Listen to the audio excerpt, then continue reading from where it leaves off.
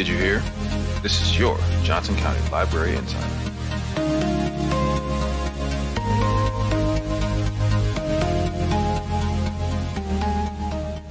And now, our monthly must knows.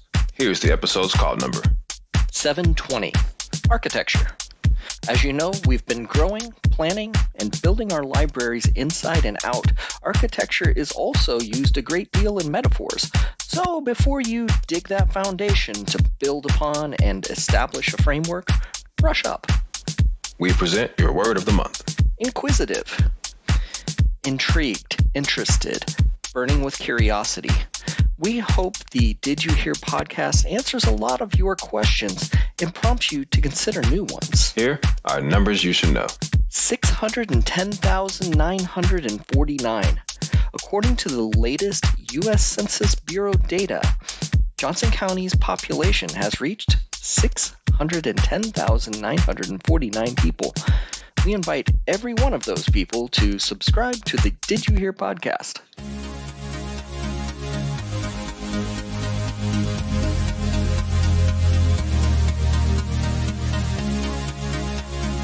Hey, welcome back to another edition of Did You Hear, the Johnson County Library podcast, your library insider, where we go into the library and then we check out stuff and then we return it on time because we're responsible patrons. Every time.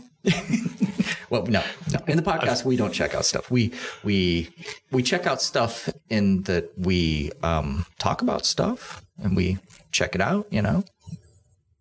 Yeah. Hi, I'm Dave Carson. there are two other people here. We're, we're also here. Jack and Charles are also here. yeah. This is Charles for people that can't tell the voices apart. And, and this is Jack. Hi, everybody. And this is Dave. So there are three of us. And uh, we are very excited to let everyone know that we have maxed out our brain power to come up with a plan for this podcast going forward. And it fits nicely into what the library is going to be exploring very soon. And it's called Discover Your Library. And so, uh, hey, let's just dive in and talk about what we're planning for the next seven months. Yeah. So, like you were saying, it's kind of an ambitious project, but I think everybody that's listening will will kind of be interested in different aspects, or probably the whole thing. Um, I hope so. hopefully, two out of the seven episodes are going to be solid. Yeah, I don't know. Maybe skip number five. uh, yeah, so um, we just have a, a concept here of discovering your library mm-hmm. as the the th- overall theme for this series. Right. And we're going to get into different parts of the library system and, and the people involved in, in making the library work. Um, just all around different aspects of your library. What are some of the different parts of the library we're going to be discovering, Dave? Well, uh, I, I I think Charles did a good job summing it up that it's it's about the services, the collection, the people, and the people that work the work at the library, but the people that also attend the library and use all those services and all the events and all of that. So this very episode is the introduction to all those different parts and where you get to know us, your podcast cast hosts. But uh, coming up in July, uh, it's going to be about our patrons. And so um, we are really looking for great stories from our community, um, patrons that use our library. And so has the library affected your life, touched your life? Um, I know there are a lot of, I mean, you, you know more than I do because you're, you know, in contact with patrons so much, but I've heard such good stories about people that come to the library and they start their business here and then it takes off. Um, yeah, you hear you hear about that um, with the makerspace and all the resources there. You also just hear about it from any of the the other resources that people can find, if it's books or or any of the programs that we run. They're all sure. they're all useful for the people. Yeah, So if you're out there in library land and listening to this, maybe as a patron of our libraries, a big devotee of the JCL library, we would love to hear your stories for this upcoming podcast episode. Yeah. Um, for, for sure. I mean, and it could be anything. It could be uh, uh, librarians that um not librarians like like uh retirees that are, are like reaching out uh finding connect connections with each other uh people creating book groups whatever. I mean i think there was like a, even a quilting group that began through the library. We would love to hear just any of those kind of stories um anime club what whatever. Um let's see. So then yeah so so then august Yeah. uh, the next month we're kind of continuing that theme of focusing on the people and we're going to go to focus on our librarians our, our staff here at the library and um, talk to them about what motivates them in their service to our patrons and the kinds of things that that they do in a day-to-day basis Yeah, for sure. And uh, I think it's always interesting just to know who a librarian is and how they got here and to hear those stories. So if you are a librarian who is a listener of the Did You Hear podcast, why did you become a librarian? Um, how did you become a librarian? Uh, and I, I think that's pretty interesting. And and you know what? I want to put that question to you two, but let's uh, let's hold off until we get to the get Yeah. to know you. Uh, a little bit We'll save that for later. yeah, save it for later. Uh, Jack, why don't you tell us about September? Okay. So, coming up in September, uh, we're going to be having a focus on how arts and culture help define who we are as a library system. So, in this episode in September, we're going to be hearing from musicians, writers, anyone we can get in contact with uh, that is going to let us know about the role the library has played in enabling the type of art they do, uh, whatever that may be. Uh, the library in general is happy to be a promoter of whatever craft people do, whether it's the technology that was, and I'm sure will in the future be again available in the makerspace, whether it is these wo- wonderful public spaces we provide. We're just interested in helping out artists, and the September episode will be dedicated to that. Yeah, and uh, I I think most people know, but maybe they don't that um, you know at our branches we have uh, local artists exhibiting their artwork, and it's it's pretty fantastic um, and varied. Uh, then we have our local music section on the website, and uh, we've tried to bring in a lot of those musicians in for our, our different programming, and so. Um, and, and and the writers groups. I mean, it's, it's a, I, I think the arts is definitely central to a lot of the things that we do with the library and even with the new construction of, of buildings like the new Monticello and Lenexa City Center, having arts incorporated into the construction of the building with the different the different pieces that were included. That those are also it's a good point. yeah. Yeah.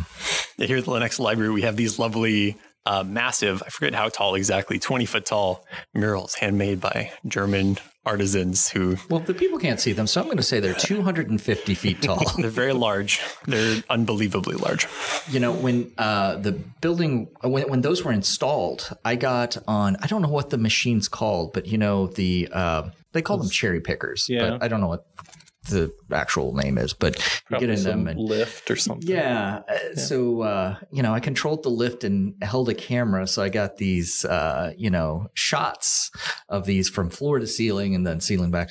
Um, kind of scary, especially for the people that are on the floor watching me thinking I'm going to crash into the lights oh, no. or go through the top of, uh, the top of the library. Dave, come uh, back. Much, yeah, much like Willy Wonka at the end of Charlie and the Chocolate Factory, flying off to another library. And by the way, I don't know if y'all ever read the sequel to Willy Wonka and the Chocolate Factory, but it is wild. Great, great glass elevator. Great glass elevator. There's aliens. There's all mm-hmm. kinds of messed up stuff. Mm-hmm. My parents wouldn't read the whole thing to me as I was a kid. It was too scary. I, I read that as a kid, and uh, it uh, I was like, it's not like Charlie and the Chocolate Factory, but it's really cool. It's really weird, but but very cool. Yeah. Uh, uh, but we don't stop our year in September. No. No. We- But why would we? we go right on to October.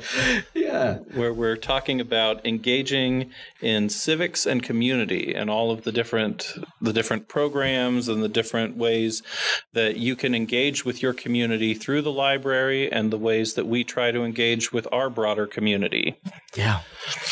Yeah, I, the, the the programs that come to mind, like um, you know, uh, legislative coffee, or um, Gather at the table. gather at the table. Yeah. That's huge. Yeah. Um, and if you don't know what those are, you know, we'll, we'll come come back in September. Um, we'll we'll have or, some. or October or, Or both. yes, that one is in October. I'm I'm here for the um, comedy relief part of the show, and it's not intended, but yeah. Hmm.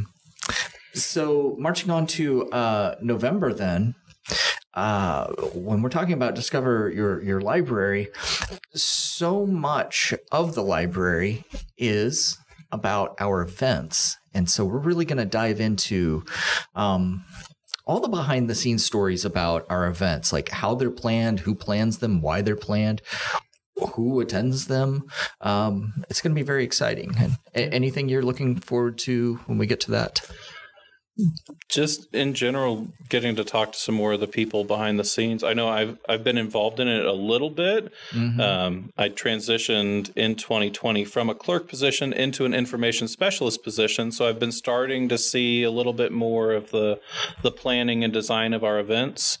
All of that uh, there's there's a ton of work that goes on behind the scenes. So it'd be pretty cool to dive in more just from my own perspective get a Yeah. better grasp on it Absolutely. Yeah. And just from the perspective of being, you know, frontline on the desk, like I think probably one of the most popular things that we had to shut down during COVID is the events. Patrons are always asking when they're coming back. And of Right. course, that's all dependent on public health gui- guidelines and on safety. But, you know, that's something, especially we get towards the end of this year, who knows what it's going to look like, but it's something we're all looking forward to. It it really makes the library come alive and the library community come alive.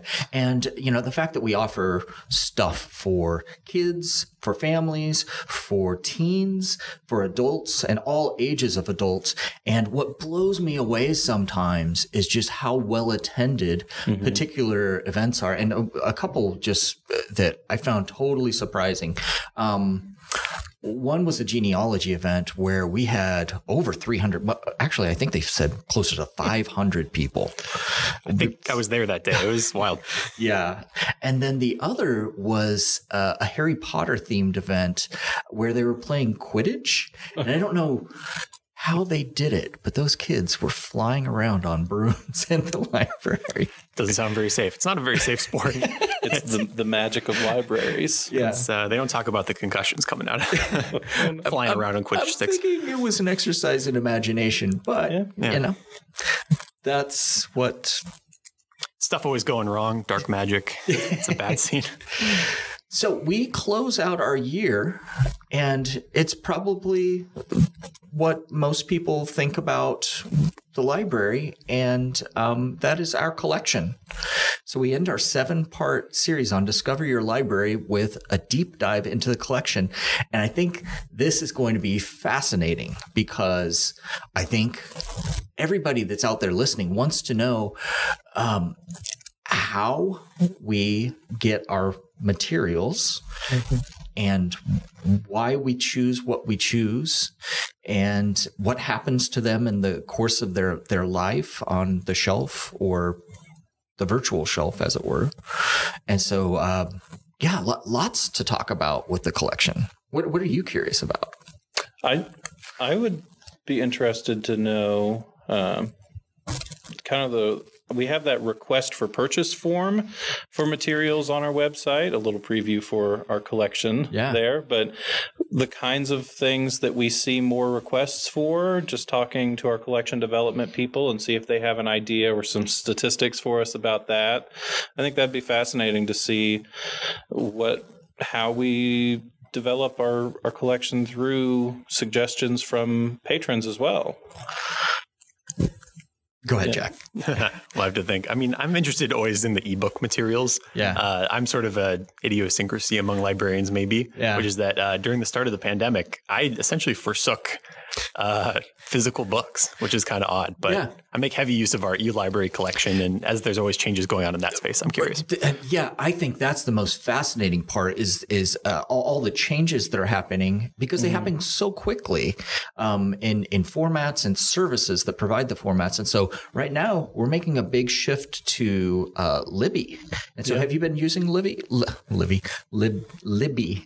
Yeah, I've used it for our, our e magazines. I've used it for that service um, with the transition over to Libby from RB Digital, and that has been something that is a great resource. And It, it seems like it's like any other type of technology. It just keeps getting better and better, which, you know, for, for those that uh, were brave enough to be early adopters, it's like, yeah, there, were, there was there was a learning curve, but it's definitely easier now. And so if you gave up on it a while back, come back and uh, be sure to check out our December episode uh, about the collection. Yeah, for better or for worse, Libby seems to be swallowing up a lot of other services, I guess. Like I initially started using it because some stuff under Overdrive, like e-resources from other libraries, ended up under the aegis of Libby. And it just keeps adding more stuff and like pulling in from other different I don't know if there's like corporate consolidation or if it's just Maybe. some other I don't know. But Libby's great and increasingly it's you can get more stuff there than on other apps. So it's nice. Yeah. All right. So I will do a quick summary of what our plan is going forward for the next seven months. Uh, we'll talk about this month in just a moment, but coming up, we're going to find out about who our patrons are as we discover our library. Um, then, who are our librarians? Um, we're going to talk about arts and culture. We are going to look at civics and our community. And then we'll talk about our events and we'll wrap up the year by doing a deep dive into the collection. So it's going to be a, an exciting series. And I'm, I'm so glad that we've done this where we're having a, uh, you know, an ongoing theme. It's, it's pretty exciting stuff, I feel. Yeah, But Yeah. today, uh, for this month, this month we're, talking about us. we My favorite thing to do. Talk about me. well, how do you want to do this? Hi, my name's Dave. I'm I work at the Johnson County Library. Uh, hi, my name is Jack. This is Charles. Uh, we all work here. Uh, so today, to uh, help introduce us to us, uh, hopefully in a little bit more of a fun way, we have constructed a game. A game of deception and guile. Hopefully, no one's feelings will come hurt out of this game. Uh, and the first piece of the game relates to facts about our lovely Johnson County library system. Oh my. Yeah. So we we have a rich history here at Johnson County Library with our our 14 branches that we have and um, each one has its own story and its own history. So we all tried to come up with some trivia to quiz each other on the history or possibly I think some people threw in some some deceptive facts about I may, I may have added some lies. Yes. the history of our, our system. So, um, if we want to jump into some of these, Yeah, yeah, let's do it. okay. So, my first fact, I, I kind of structured these um, as guess which branch. So, Okay. uh, my first one is although this library was built in 1967, growing pressure from population growth in the area led it to being rebuilt on the same location in 1982. And our comprehensive library master plan, which is our development plan for our system, anticipates need for further expansion in the near future. So I have an idea. Okay. Mm, this one might be too easy for us, Charles. I don't know. I'm thinking we got an old library branch. Mm-hmm. Antioch's the oldest. This can't be Antioch. 'cause We haven't rebuilt Antioch that recently. Okay. I am leaning towards Blue Valley. What do you think, Dave? You know, I I grew up in Olathe, which is 151st Street, and it seems to me like that was not.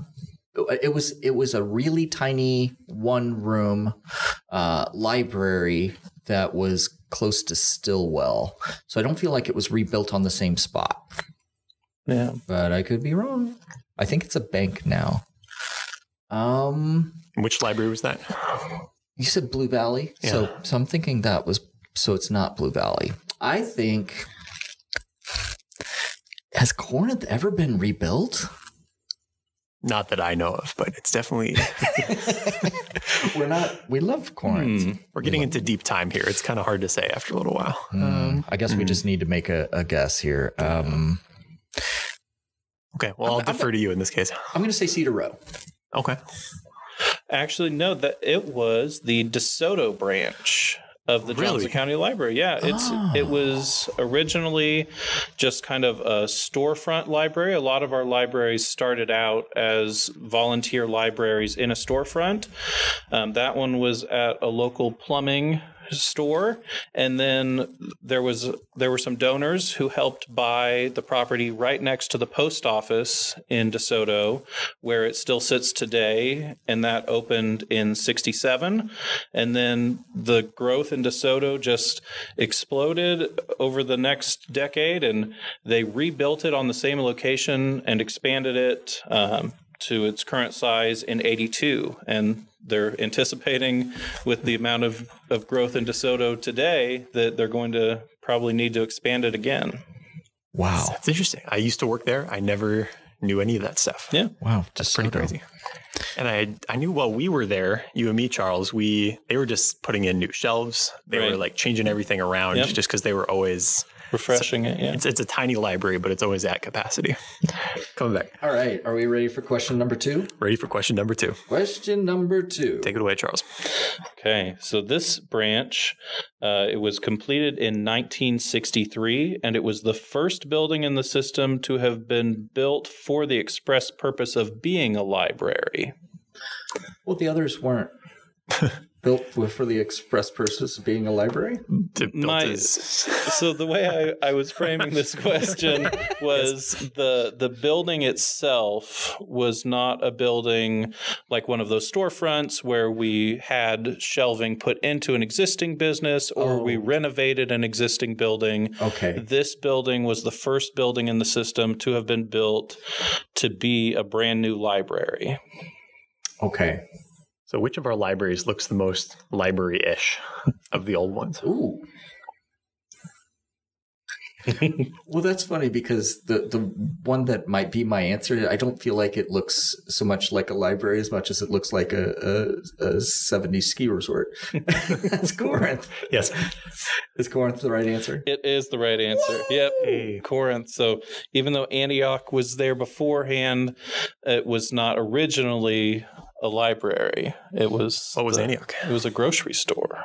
Really? I guess I knew that somewhere in the recesses of my brain. Yeah, Didn't know that. that's what I was told on my tour. sometimes I sometimes I think Adam might just be telling us stuff about those stories. But it's, it's cool. It's a cool fact. yeah. Uh, this one says in so question three in 2008, this branch was the headquarters of the newly established Home Connect program. The service has now moved, but still provides materials through the mail to patrons who are homebound. Oh. So I I know it ended up in Central eventually. Where was it before Central? Yeah, it's got to be before that. Um, Len Wild used to be in charge of that program years ago, and he was a very strong advocate for seniors. Where was he working from?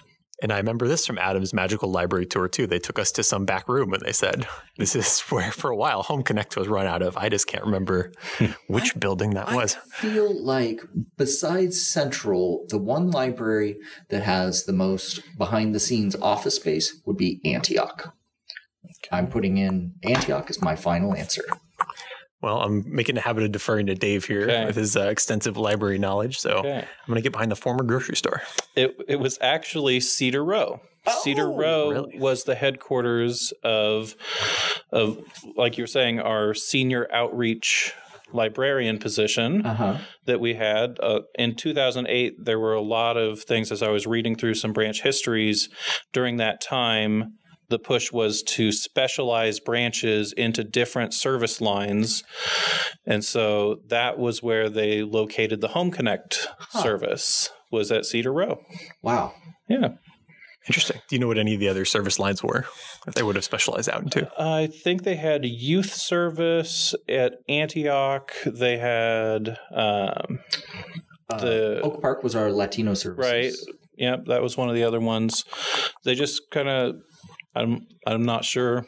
Since I'm a newer hire to the system, Yeah. the push in 2008 that that that was the specialty branches, making them like destinations. Yeah.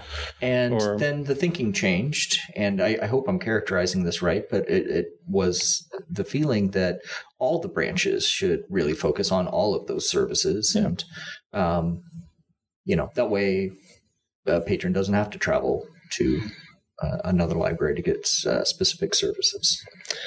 So th- this next fact, fact four, is uh, one that may be pretty obvious to everybody here, but I just thought it was a cool fact to share with our audience. The within the first eight minutes of opening, this branch had reached 615 visitors, and over the course of its first day of operations, it reached a total of 3,038 guests, which was over four times the number who attended the first day of operations at the Central Resource Library. That sounded like Monticello. I feel like we were there that day, and it was wild, Charles. There was stuff. There's people coming out of every room. There's crazy I- stuff happening. You know, I'm gonna I'm gonna play Jack's game, and I will defer to Jack.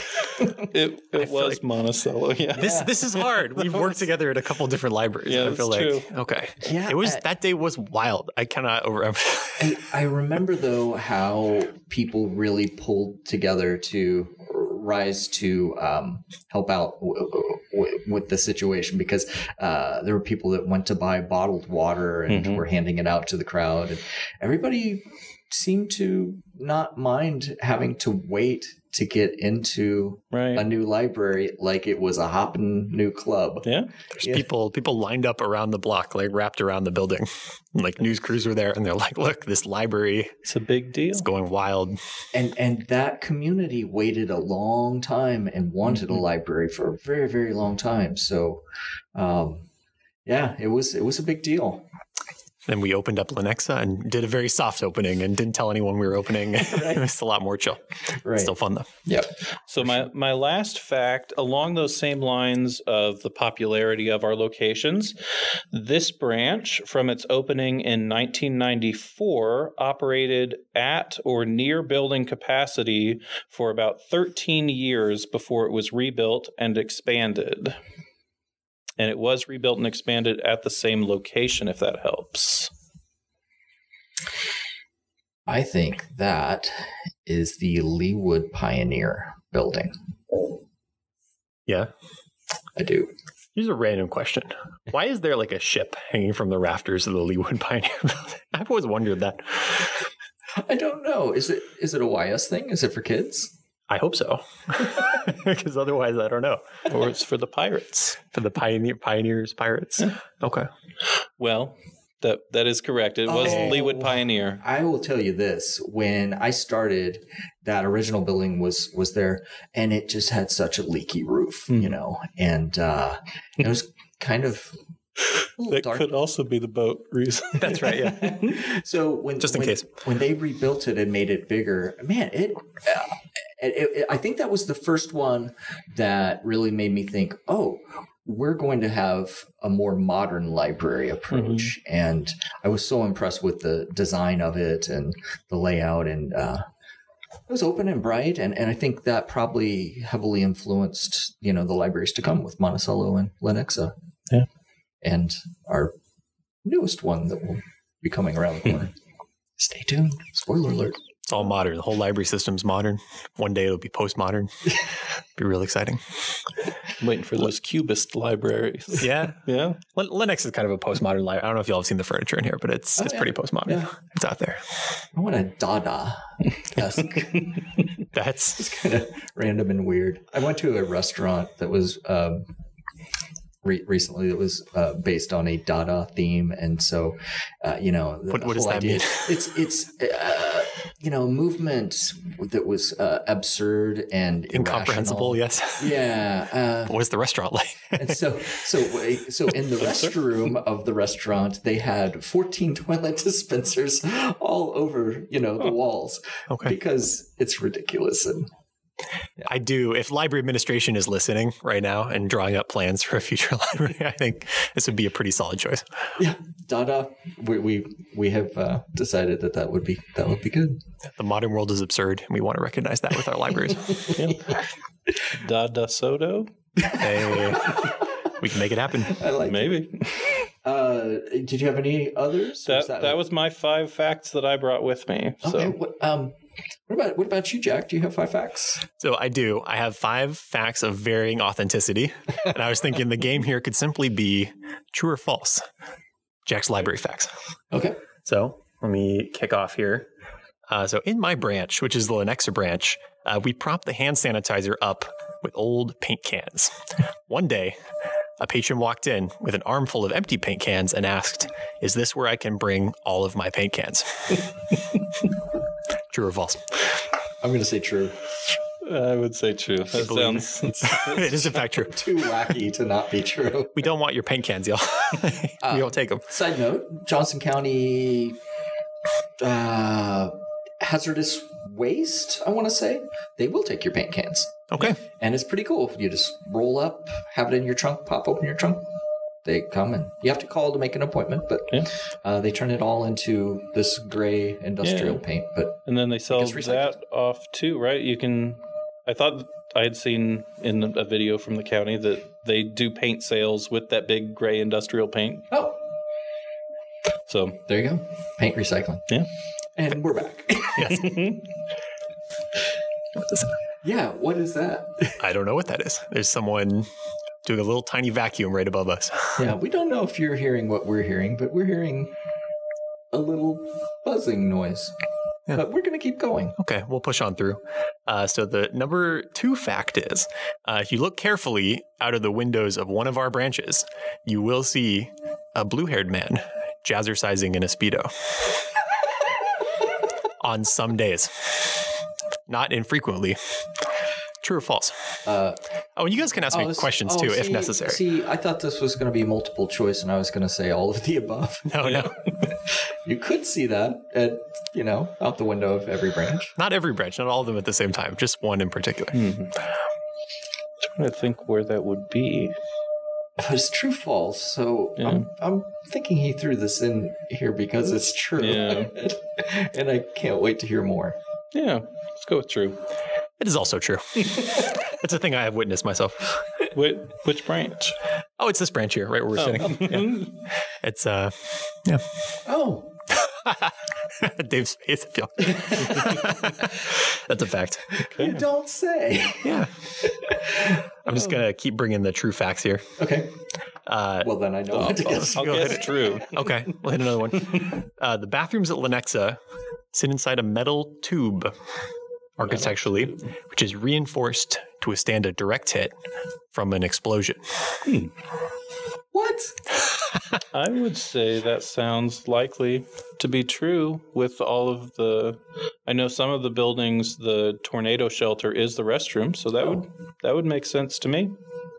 Sure, I'll go with true. Okay, that one is false. Uh, Um, there is it is the tornado shelter You here. It is well reinforced, but it's not a bomb shelter, y'all. Don't. oh, Yeah. Well, hey, based on the uh, Lenexa restra- restrooms, I'll throw in a quick true or false. Okay. Uh, the Lenexa restrooms have our six by six animal characters on the walls. True or false? true. I, I work here, so I know that one. it's true. You can um, use the restroom. Well, oh, they're not the six. By, oh, you're not. right. They're They're, just not. animals. They're, just animals. They're just fun animals. You got me, Dave. Ha Mhm. It's chipmunks. There's a fox. That's right. Can you name all the six by six animals? There's a, a peacock. Yeah, there's a There's a peacock. monkey. You got a monkey. There's Got a, that too- a got- turtle, a toucan, Toucan. Goat. a goat. Goat Can't a And boat. goat a boat that floats, Uh, there's one more. which is I want to say it's a kangaroo. yes, yes, yes, yes. There you go. Got all six. We have won the six by six challenge. Now you just have to remember what the different six by six skills are that each of those animals represents. Right. Which is something I do not remember at all times. Ah. Well, that, that that's a quiz for another time. It's A quiz for another time. Okay. Let's keep going with the questions. Okay. Let's see. Here's another one. This one's just for all of Johnson County Library. It's a good tip for everyone out there listening. Uh, there's two types of registered service animals that you can bring into Johnson County Library branches, which are dogs and miniature horses. Miniature horses. If someone wanted to bring a registered miniature service horse into our branch, we would allow it. True. I- okay, so Charles believes me immediately. yeah, so here's the thing. If it is true, I feel awful that I would be shocked. And and if it's true and you have to have a miniature horse to assist you, I apologize right now. But I want to know why. I'm going to say false. Okay.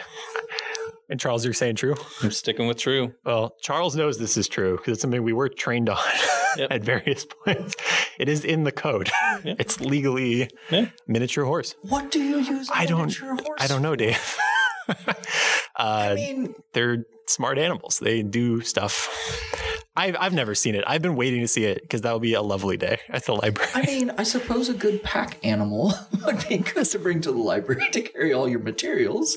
They could warn people of danger somehow. Yeah. They can count with their hooves. Um. Hmm. Yeah. Well, you know, I, I- I've heard that pigs are ultra smart. Are you allowed to bring your pig to the library? No service pigs at this time. Nope. No service cats.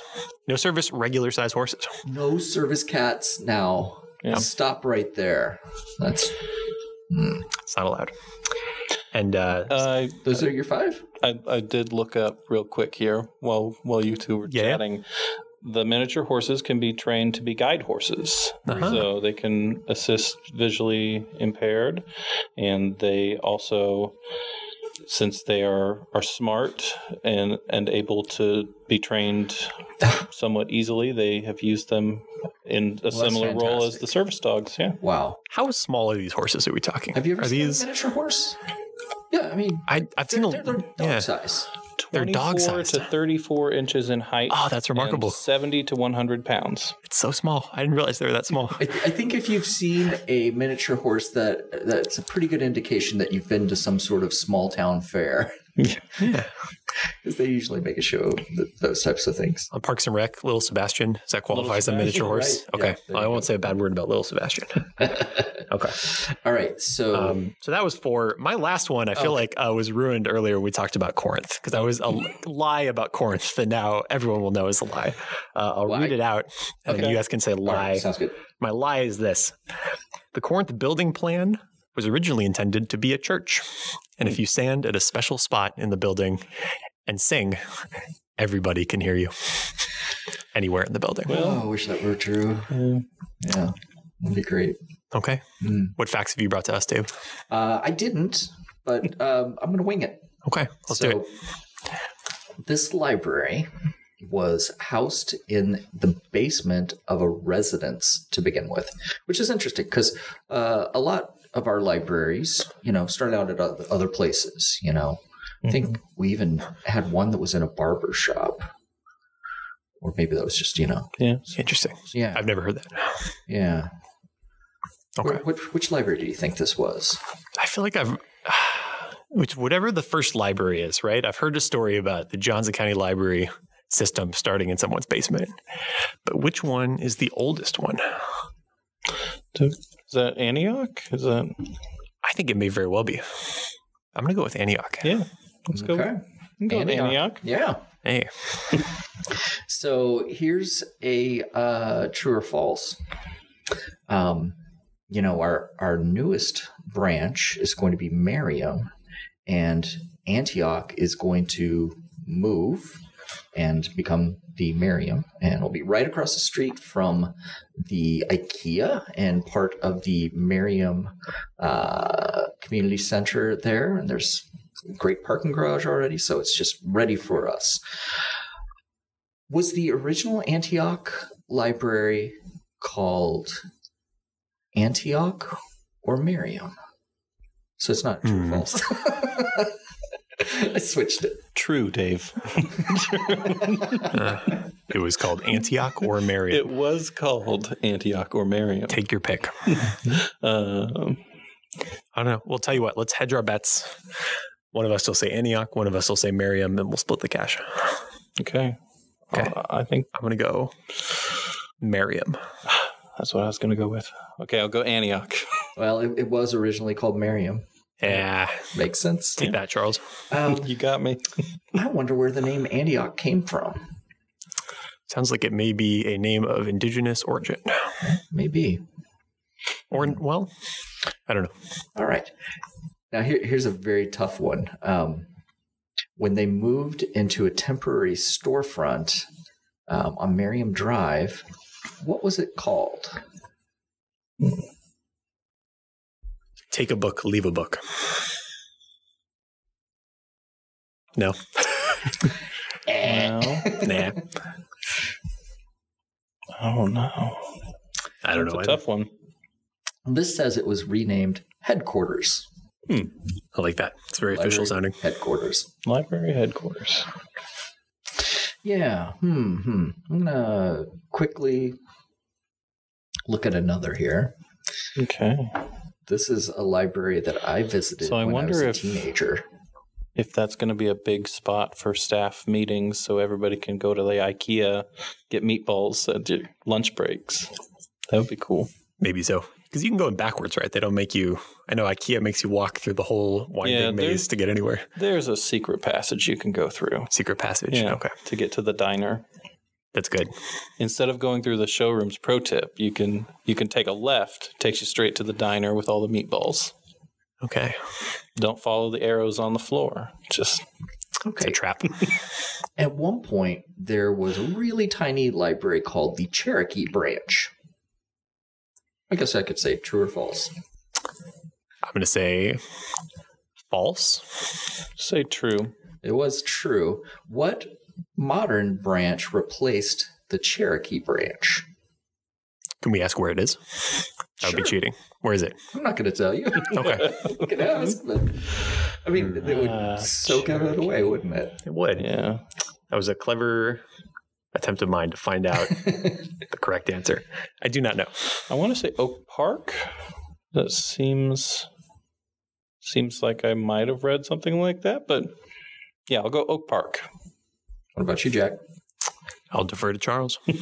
He he is right. It was Oak Park. Yeah, very interesting. I'm sure it was named Cher. It was uh, the Cherokee branch because it was located in the Cherokee shopping center. Right. And I think when I was reading about that one, it talked about Cedar Roe and Oak Park. Didn't they they were both kind of planned as expansions to the existing um, system at the time as the northeast and the southwest branch was that what they were something Yeah, something like and that, that's, yeah it. that's exactly right. that was kind of their Corinth and, and Antioch were were uh, tentatively named Northeast and Southwest.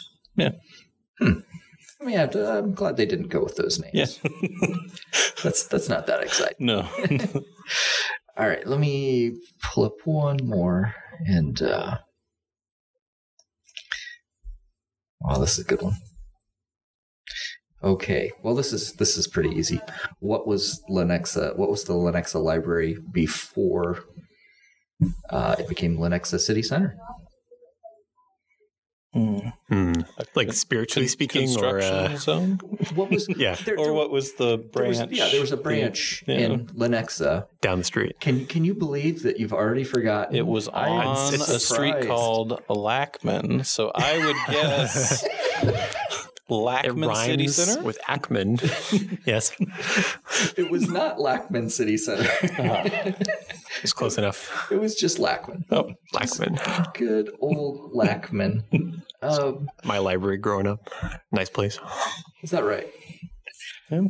Uh, I was saying earlier that you know when I was a kid, uh, and a kid, you know, sixteen, could drive, and uh, for a research paper, I drove to the Oak Park Library, and they had the you know physical card catalog, paper card, and then uh, I went to uh, Antioch because in my day, we did not have the internet, and uh, it was it was hard. You had to go library to library. That's rough. Exciting stuff, huh? I yeah. I don't believe it. It was, it was true. False. Yes. All right, so um, I think we should move on from uh, library history and, and talk. We're going to talk a little personal history, right? Absolutely. Get to know your host. Why not? Why wouldn't you want to get to know your host, And Get to know us. Jack? Why? Why wouldn't you? I don't Why, know. why are you going to be so stubborn about this? Uh, Open up. Tell us. we're, we're all going to be sharing today. Uh, some deep personal truths are going to be exposed. okay, let's let's uh, launch into it. So I have a list of some questions. Dave, you have some of your own questions, or you want to throw some in the mix, or what do we? Do I have any from you, Dave? On my list from the form? Well, you know what? Let's go back to um, my earlier question. I'll throw it to both of you. How did you become librarians? So, uh, I was press ganged into service. I kind of came to the libraries in a circuitous route. I started out um, thinking I would be going into music education. Um, I went to school for music education and then just uh, I subbed for a couple years, didn't really find a full time position that that grabbed me and and pulled me into music education. Um, so then I was looking around for other positions, and I found that the Monticello Library was opening up in 2018, and they were doing a, a hiring push for circulation staff. And I thought back about since I grew up in the Kansas City area, I grew up going to the Central Resource Library. I volunteered as a teen with the library, and all these memories came flooding back about about my time volunteering um, on the Young Adult Advisory Council there, and I worked as a homework help coach at Central in the first parts of that. Wow. So all of my experience in libraries kind of pushed me towards giving it a shot, and then I joined and in the orientation i realized that i had found the right position for me because a lot of the library values are the things that got me into education so all of that that the work that we do with patrons it appealed to me on that same wavelength that appealed to me to be an educator so Yeah. yeah I, I wonder how many uh, of our librarians have a similar story. Um, that they were pursuing something else and it, it- they ended up here, and then also the education angle. I think that you know is such a, a nice fit yeah for for some. Um, you know, some people love the classroom. Some some try it and then it's like, oh, maybe we move on. But but you know, helping folks pursue lifelong learning. Hey, the library's a great place Right. for you to do that. What about you, Jack? Uh, let's see here. So my story is, uh, I don't know, a little bit less involved than that. Uh, I graduated college with an English major, and then got out of college, and I was like, wow. I need a job, Yep. as many many English majors have done before me. uh, like many English majors, uh, you know, I looked around, and of course, the public library was there. It's somewhere I'd been frequenting uh, all my life, and just regarded as a pleasant place to be and a great resource. And I thought, wow, if I can get a job there, it'd be great. And lo and behold, here we are. Nice. That's great. Yeah. How about you, Dave? Um, so I'm not a librarian. Um, my my last degree that I got was in educational technology, and before that, I was um, I, I taught communication courses um, at uh, universities and colleges and community colleges, and uh, uh, quickly discovered that. Uh, there were that it was totally oversaturated field, and I was, uh, you know, a finalist at jobs. I'd, I'd be flown out to, uh, you know, Clemson and uh, North Carolina, Charlotte, you know, and and and other jobs. And I was like, well, you didn't get the job. Who did they hire? Somebody with a PhD. I'm like, what? Yeah. I have a master's degree and you're hiring somebody with a PhD. So um, I was like, mm, I don't know that I want to go into this field. Um, but I discovered uh, educational technology, and um, it's really interesting because uh, the School of Information Services and Learning Technologies at the University of Missouri um, has the library program paired with the educational technology program.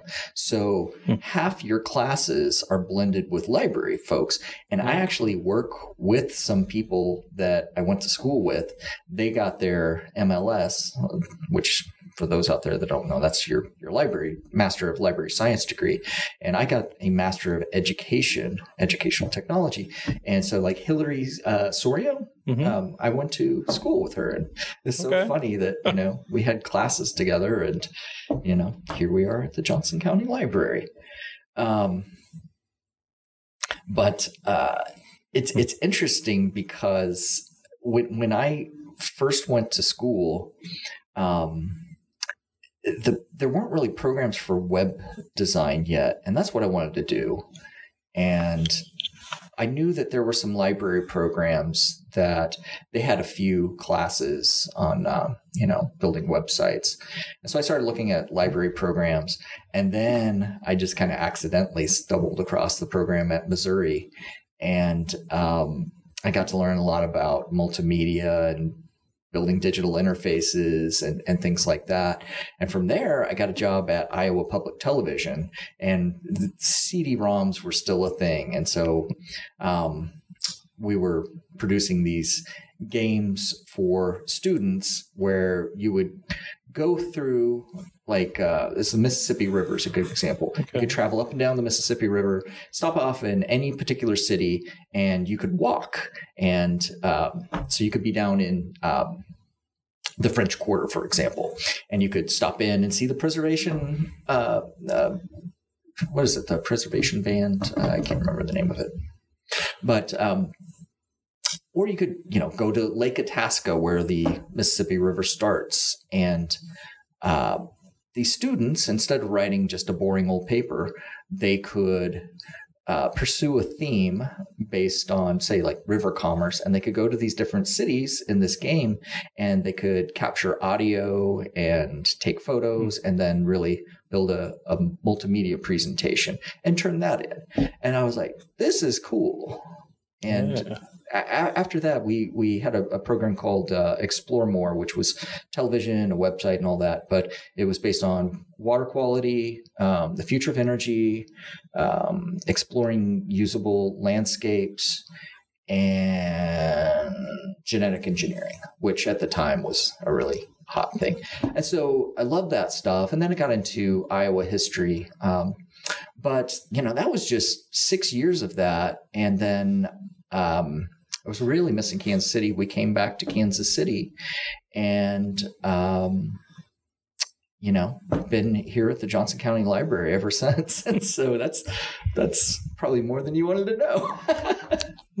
kind of got that a similar education thing though with the the masters in education technology. Mm-hmm. So yeah, um, it, what attracted me was was the mission absolutely just to helping people pursue lifelong learning. And um, at a library it's the variety of people that you can help. And I, I firmly believe that literacy is so very important and that's the springboard to knowledge and wisdom. And yeah. hopefully that's what we're we're we're helping people. Mm-hmm. I was going to quote our mission statement, but which do you know our mission statement? It's uh, it's been a minute. Let's to, all say it in unison. Help, to help the community um, yeah, develop its uh, collective wisdom, something like that. That sounds right. We might correct that in the show notes. Yeah. Yeah.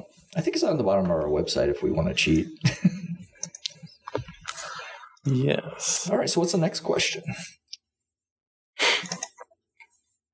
Well, okay. Well, we have our game. I've got a set of facts. I don't know who from. Uh, and yeah, one way we could do this is read them out. And Now then guess who whose fact that is? guess whose fact it is. Everyone feel free to claim that it is your fact. Okay. Uh, yeah. Okay. First fact. Uh, this person loves a wide variety of book genres, but in terms of favorite, their go-to is almost always audiobooks. This one is me. Yeah, I was gonna say this is you. Okay. Dave has been sold that this one is me. What do you think, Charles? I don't know. I think since Dave's not claiming it as his own, could be, could be me. Charles, Charles is being hesitant because he knows it's him, but in fact it is. Yeah, it's me. Oh, Yeah. Yep. Okay. Okay. I I listen to a lot of different genres, but it's usually listening. I like to be able to to consume books on the go. I hear that. It's good. Very good. Multitasking. Listen to it real fast. Get through that like thick book in like five hours. It's great. For, for, for me, I've always enjoyed movies. And so I, I worked in movie theaters, you know, through high school and it got me through college. And I even managed the uh, Tivoli Theater here in Kansas City. Um, and uh, so so I, I like this the streaming videos. And so we have Yeah. some some services here like uh, Kanopy and um, that. And I enjoy listening to music. Also a big fan of music myself. Huh, it's okay. Charles, the music Charles major. Oh, Yeah. that's a Charles joke. Okay. Let's keep going on the board here. This one person was once trained in the martial art of Eskrima by a rogue janitor. Oh, that's me. I think it might be Dave. With these two people, I feel like Yeah. it could literally be either of them, and I just have no idea. What is Eskrima, Dave? I have no idea. It's not. Okay, me. well then I'd, I'd say that's Jack. yeah. it is me. oh, so what is Eskrima? It is a martial art originating in the Philippines. It involves combat with weapons you find around you, Oh, focusing on improvised weapons. so. Oh, I can't even say it. Macagra. What, uh, what, what Krav is- Maga. is, That's is- that's a different thing. but is that mostly like improvised? I think Krav Maga is. I think Krav Maga. I don't know much about it, but it's created by the Israeli like defense forces. I, I Right. think what we should do is just talk about things that we really don't know anything about. Yes. that's good. I think you're right.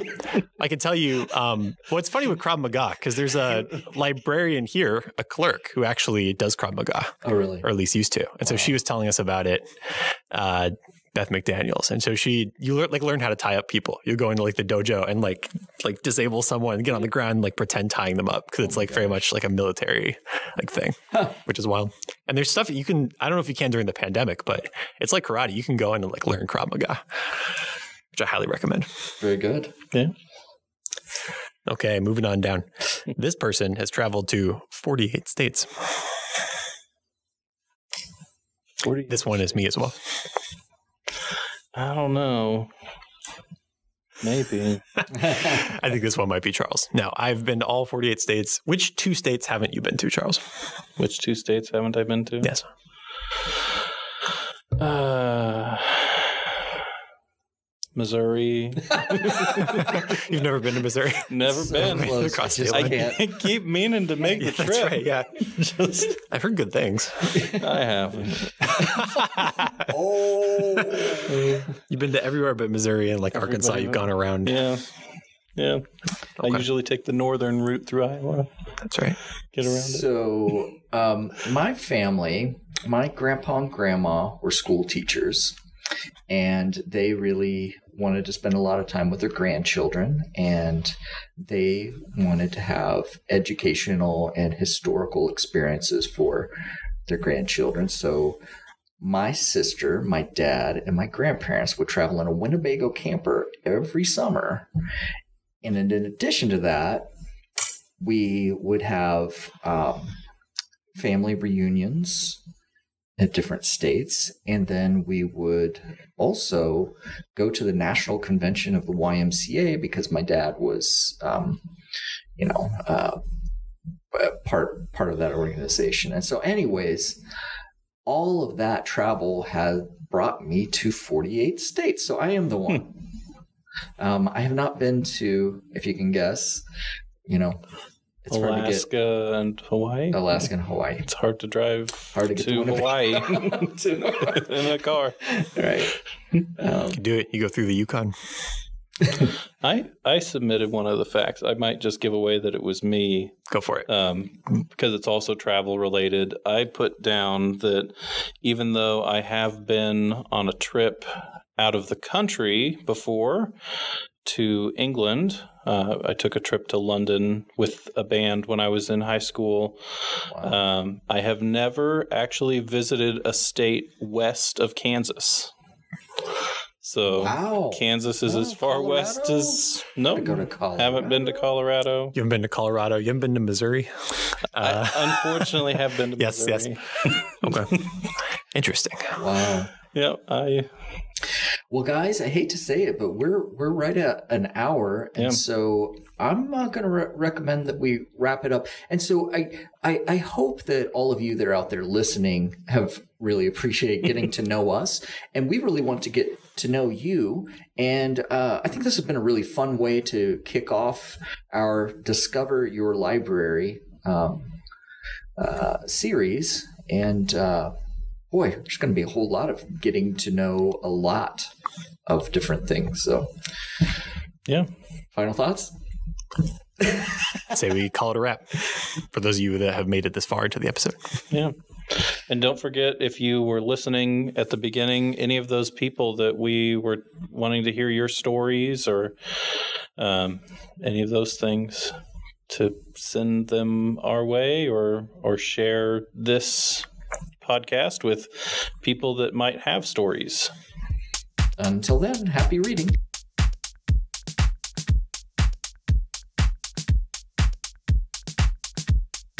We end today's show with another installment of In Search of Paul Rudd.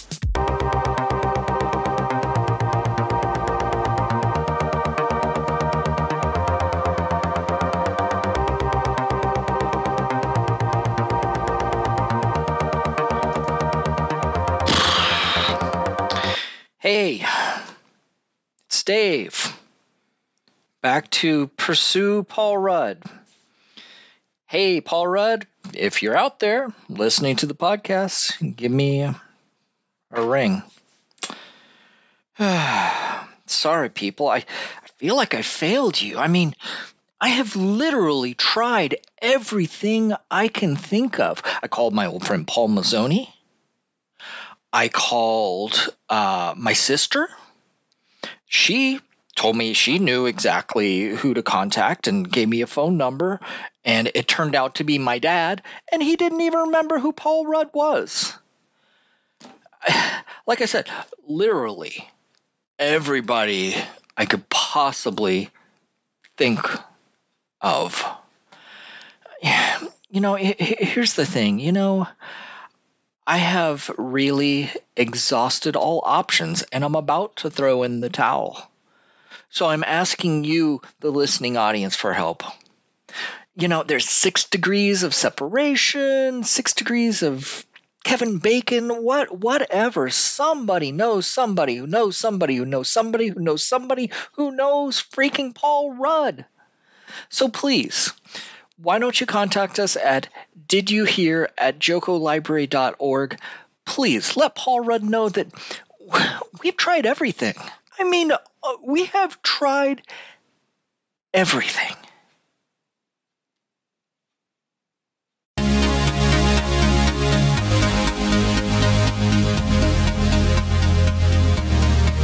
Did You Hear is a production of Johnson County Library in Johnson County, Kansas, USA. Find new episodes each month on our website, jocolibrary.org, and older episodes at jocolibrary.org slash did you hear. You can subscribe to the Did You Hear podcast from our streaming home, jocolibrary.podbean.com, or search for Joco Library or Did You Hear at your favorite podcast streaming service. Also, find us on Facebook at facebook.com slash Joco Library, on Twitter at Joco Library, on Instagram, instagram.com slash Joco Library, and check out our YouTube channel, youtube.com slash Joco Library. We'd love to hear from you via email. Write to us at didyouhear at jocolibrary.org. Hear a brand new episode on the first of next month. Thanks for listening.